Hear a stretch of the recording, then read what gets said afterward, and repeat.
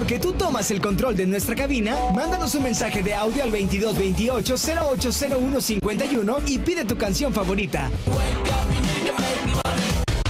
No olvides decirnos de qué zona nos escuchas. Esto es Zona Kids. Zona Kids. Como lo comentamos hace un momento, llegó el momento de las ideas locas y el día de hoy vamos a preparar unos papalotes. Oigan, yo siempre quise hacer un papalote porque cuando era niña nunca me salía. Te voy a decir, Vivi, que no es tan difícil hacerlos. Es muy sencillo hacerlos, honestamente. ¿Sí? Sí. Oigan, pero yo quiero saber como de dónde vienen los papalotes, quién los inventó, por qué los inventaron. Para eso, para eso estamos nosotras, Vivi. Así que yo empiezo platicándote la historia. En realidad no hay una historia cierta de los papalotes, porque pues no está ninguna confirmada. Hay varias leyendas. Ah, lo que sí está comprobado es que se inventaron en los años 500 antes de nuestra era.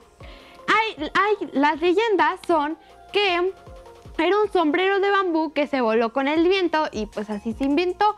O las velas de navío y este los los Tú puedes, tú puedes. Ah, sí, que era, que era un cometa que lo, lo elevaron con forma de pájaro y que estuvo andando con los pájaros durante días y ellos ni en cuenta. ¿Ah, sí? Fíjate que yo sabía que los echaban a volar también desde cuando se inventaron antes de, antes de Cristo para mandar mensajes. Como que les Ah, escribían sí. mensajes ahí, Como palomas. volar. Qué ándale. interesante. Está Sí. súper interesante, La verdad es que haber vivido en esa época hubiera estado bien también. Sí. Pero- Imagínate tratar de leer un mensaje así en el papalote, en ¿no? el aire.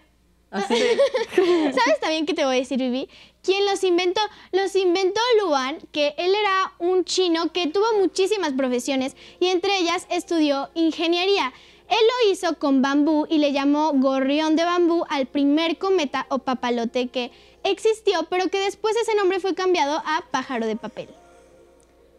Órale, oigan, estamos viendo en pantallas que hay diferentes tipos de papalotes, Sí. ¿verdad? Sí. Te voy a platicar unos, bueno, los más famosos, los más importantes, que es el papalote plano, el papalote curveado, el papalote semiflexible, el papalote flexible, el papalote arquitectónico, el papalote de pelea y el papalote decorado, que es el que normalmente vemos o nos venden como con figuras, que ya les cambian todo, porque normalmente era pues así un triángulo. Mira esta, se sup- Ajá, yo creo que esta era como una feria, una, un Sí, festival, ¿no? de hecho, Vivi, te voy a decir que ese festival es Al Farsi International Kite Festival que está en Cuba y esos son los papalotes más famosos, pero sobre todo hay uno que es del más famoso, que es el de China y es un dragón. Oigan, ¿qué les parece si empezamos ya Hacer con la, la dinámica? Porque Sí, sí. a mí ya se me están cociendo las habas. los materiales que vamos a utilizar es papel china, bolsas de plástico,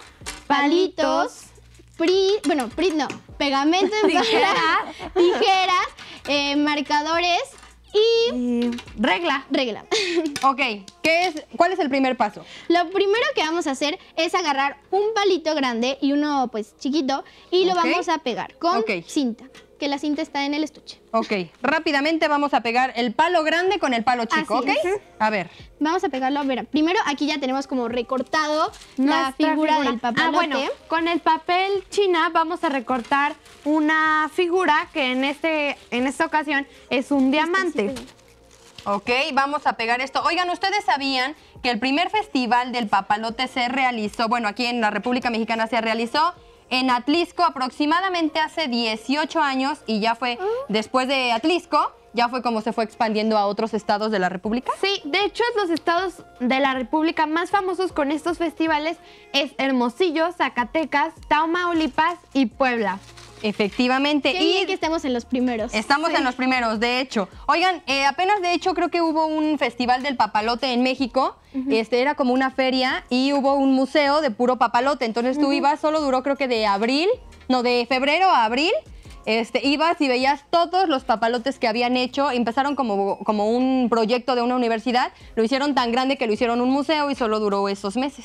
Sí, a mí me encanta cómo se ven todas las imágenes, que se ve eh, el, el cielo lleno de papalotes, de colores, las competencias como estamos viendo en pantalla. Así es. Hablando de competencias, Vivi, ¿sabías que el papalote que más alto ha volado eh, bueno, fue en Sydney y voló 5 kilómetros aproximadamente. ¿En serio? Sí. Oye, ya que tengo pegado el pa- el- los palitos y el papel recortado, ¿qué hago? Ahora vamos a agarrar el pegamento en barra y, o sea, primero, bueno, primero vamos a agarrar el hilo, que también está en el estuche, ¿Ok?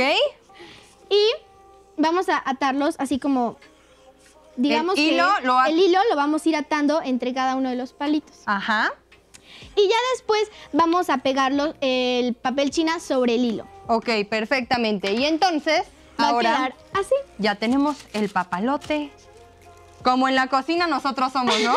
Los meten al horno y ya lo Sacamos todo, sacamos sí. hecho, ok. Y también con las bolsas de plástico vamos a recortar dos tiritas para pegarlas y hacer la cola. Oye, pero en vez de bolsas mejor le pegamos como listoncitos o algo, ¿no? sí, algo que no Pero sea... esto es más reciclable. Ajá, es más para reciclable. Es como que con nada. cosas reciclables y que Sí. todos tenemos en casa. Lo único que yo no tenía en casa es palitos, pero, Pero esos no pero son fáciles de Sí, conseguir. y así. Oye, Vivi, ¿y tú sabías que el papalote es un, ha sido una gran herramienta para la ciencia? Como con Benjamin Franklin, que lo utilizó para la base de la electricidad, o Leonardo da Vinci, que lo utilizaba para varias bases de sus proyectos. Eso me causó muchísima, muchísima curiosidad. Estuvo súper padre esa información. Oigan, aprendí a hacer un papalote súper rápido. La verdad me encantó. Ahora nada más falta que haya este aire, Aquí no para hay salir aire, pero a volar. ahí en sus casas lo pueden Sí, sacar a volar es. y es muchísimo más fácil. Muchas gracias, niñas. Mis ideas locas siempre me traen algo nuevo. Ustedes allá en casita espero que hayan aprendido. Regresamos en un momentito. No se muevan porque vamos a conocer muchas, muchas, muchas cosas más. El programa del día de hoy. No se muevan de su zona. Regresamos. Esto se llama Zona Kids. Es momento de ponerte en contacto con nosotros a través de nuestros números en cabina.